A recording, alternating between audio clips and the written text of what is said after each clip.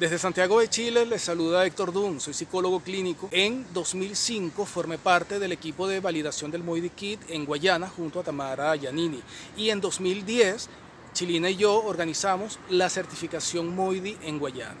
Desde 2015 he trabajado en Chile en el área de protección de derechos de niños, niñas y adolescentes. Eso implica que yo tengo que evaluar el daño como producto de vulneraciones graves de derechos se me ha presentado la situación en que me han derivado niños de muy corta edad para quienes las pruebas clásicas de evaluación simplemente no se pueden aplicar. Y en algunos casos he recurrido al Moidi Kit con la grata sorpresa de que he encontrado un alto nivel de ajuste entre los baremos obtenidos con los niños venezolanos en 2005 y los niños chilenos en la actualidad. Pienso que uno de los grandes activos que tiene el MOIDI como modelo y el MOIDI Kit específicamente es la visión integral que nos permite recabar una gran cantidad de datos.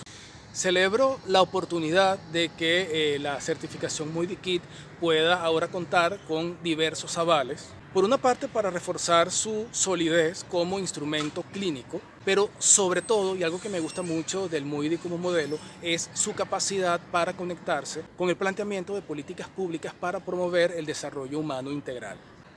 Me parece que es una gran oportunidad la que se está presentando ahora y ojalá muy pronto podamos también contar con estudios de validación en colaboración con universidades chilenas para que lo podamos aplicar con la suficiente validez ecológica en la población infanto-juvenil chilena.